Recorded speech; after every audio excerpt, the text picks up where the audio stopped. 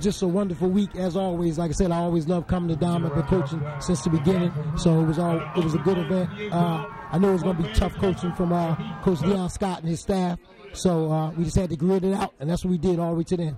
We played defense both sides of the ball. We played offense and defense, but we came to the game and I scored, and we won the game. Altogether, I think our team played well. I think we could have started off stronger in the first half, and uh, well, I, I'm just really proud of the family, and we just need to keep going on and rolling. That's all I got. You were the difference maker in this game. Talk about your touchdown run. Well, I told coach that I seen it open, so I just told him to run the ball. What separates you from the rest of these kids? I'm fast. I got vision and I know how to hit the hole. How does it feel to be nominated as uh, the MVP of this t- uh, eighth grade team?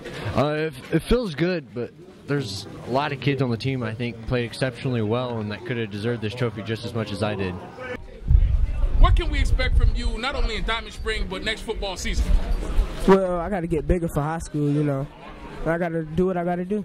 What can we expect from you next year at Northview? Um, hopefully a starting spot and uh, uh, maybe a state championship under my belt. Coach, this game was a really in between the tackle game. Yes, sir. Talk about the physicality of today's game and the weather. Well, I told my boys all week, you got to get tough in between them tackles. I said we got to, you know, we got to push these guys around, and we got to, you know, stay, stay with it, stay with it.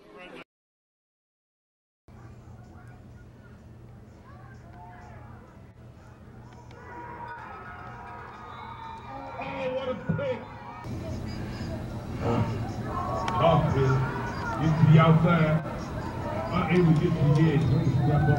Offense out on the field, looking to throw the big man. Next to number 30. Snap, quick throw. Sends the defender, makes a nice catch. Very. Hang on. Second down and six. Yeah.